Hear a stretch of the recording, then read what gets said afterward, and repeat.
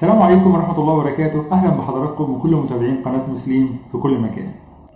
أنا محمد سليم وأنت بتتفرج على برنامج Lab Tube من فضلك اشترك في القناة ودوس على زر الجرس علشان يوصلك إشعار بأي فيديو جديد ينزل.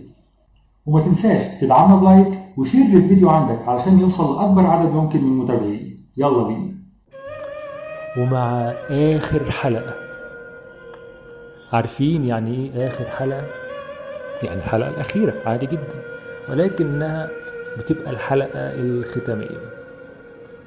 عدى علينا حلقات كتيرة جدا في اختبار وظائف الكلى.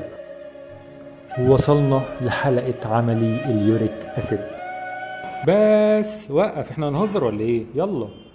دايما بندخل في ما قبل التحليل بقى وتحضير المريض. يكون صايم ولا فاطر؟ كده ماشي وكده ماشي.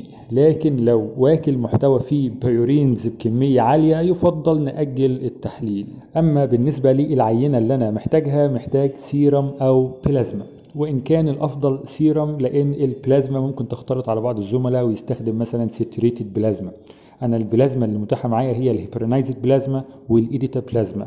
نيجي لنقطة حفظ العينات. اتفقنا إن الأفضل إن أنا سحبت العينة أفصلها وأشتغل على طول. طيب لو مش هقدر أشتغلها دلوقتي أقدر أحفظها إزاي؟ على فكرة العينة تفضل زي ما هي. لو أنت فصلتها السيرم فصلته يفضل زي ما هو في ال room temperature في درجة حرارة الغرفة لمدة 3 أيام. عادي جدا. أما لو عايز أطول من كده ممكن خمس أيام في ال refrigerator التلاجة درجة حرارة 2 ل 8 ولو أنت بقى شهور بقى ست شهور مثلا ممكن في سالب 20 freezer frozen. نيجي بقى لطرق القياس على أجهزة الكيمياء semi-automated ما عنديش إلا غير طريقة واحدة بس وهي ال enzymatic colorimetric end point سي كان في طرق زمان قديمة وفي طرق وتقنيات أعلى بس أنا بتكلم دلوقتي على ال semi-automated ودي طريقة end point عادي جدا يعني هضيف السيرم للمحلول هيحصل تفاعل وبعد وقت محدد أقدر أقيس اللون الناتج. نيجي للمحاليل بتاعتي. اولا في عندي standard تمام؟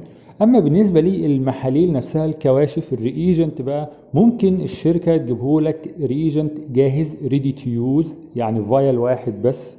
وفي شركات بتجيب powder و buffer وانت بتحله تمام؟ كده أو كده ده كويس وده كويس. هو بس ممكن ال powder بيكون ال stability بتاعته أقل شوية ولكن بتكون نتائجه أفضل أكيد من ال ready to use لو جينا ناخد مثال لل kits والكواشف بتاعه محاليل هتتحضر بيبقى عندي ال R واحد اللي فيه ال standard طبعا وبيبقى غالبا 6 مللي جرام على ديسيليتر. وال R 2 بيكون عندي buffer وال R 3 بيكون هو اللي فيه ال enzymes زي ال uricase وال peroxidase ركز معايا تعالى أقول لك ال principle أو إيه اللي بيحصل أثناء التفاعل. أنا معايا عينت السيرم بتاعت المريض أو ال standard اللي فيهم تركيزات لل uric acid بيجي إنزيم اسمه ال uricase بيأكسد ال uric acid ده ويحوله ل allantoin و hydrogen peroxide بيحوله لمادة الألانتوين وفوق أكسيد الهيدروجين. فوق أكسيد الهيدروجين ده بقى بيتفاعل مع مادة اسمها dichlorophenol sulfonate ومع مادة كمان اسمها ال aminophenazone في وجود الإنزيم بتاع ال peroxidase وهيتكون في الآخر مادة ملونة. المادة الملونة دي بيبقى لونها pink اللون ده بيتناسب طرديا مع تركيز ال uric acid في العينة. يعني لو هو pink فاتح معناه إن ال uric acid قليل. لو pink غامق معناه إن ال uric acid عالي. تعال بقى ندخل لل procedures الخطوات. هحضر قدامي ثلاث أنابيب blank و standard و test طبعا أنا حضرت المحلول بتاعي لو هو powder ولو هو ready to use جاهز هشتغل على طول. هاخد من المحلول بتاعي في ال blank 1 مللي في ال standard 1 مللي في ال sample 1 مللي. هاخد من ال standard اللي تركيزه 6 مللي جرام على ديسيليتر هاخد منه 20 مايكروليتر أو 25 أو حسب ال pamphlet اللي معاك ما بتقول في أنبوبة ال standard. وهاخد برضو من ال sample بتاعة المريض سواء السيرم أو البلازما هاخد منها 20 أو 25 أو حسب ما ال pamphlet بتقول في أنبوبة ال sample. وهعمل mix كويس. واعمل incubation أحضنهم في درجة حرارة 37 لمدة 5 دقائق أو في ال room temperature لمدة 10 دقائق أو حسب ال pamphlet معاك ما بتقول. وأقدر أقيس من بعد النقطة دي ما أقدرش أقيس قبل كده. تمام يا بطل؟ وصلنا لنقطة ال end point خلاص خلصنا وقت التفاعل.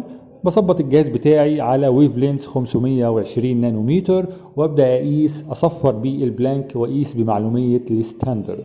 خد بالك من حدود ال kit في القياس لها حدود أكيد يعني. ممكن يقول لك أنا حدودي ال linearity بتاعتي مثلا وليكن 25 مللي جرام على الديسيليتر يعني أي أرقام هتقرب من الرقم ده أو بعد الرقم ده هضطر أعمل dilutions وأخفف. وما تقلقش مش هتوصل للرقم ده قوي يعني. أنا كده خلصت حلقة النهاردة وخلصت جميع حلقات وظائف الكلى. أوصيكم بثلاث حاجات. الحاجة الأولى راجعوا وظائف الكلى. كويس قوي قوي قوي قوي لأن دي عينات فيها أرواح ناس والكلى عضو مهم جدا جدا. الحاجة التانية ده ال like وده ال share. حاول تعمل share لل videos ولل playlists اللي موجودة على قناة اليوتيوب بتاعتنا على كل الجروبات وعلى صفحاتك في ال social media. السلام عليكم ورحمة الله وبركاته.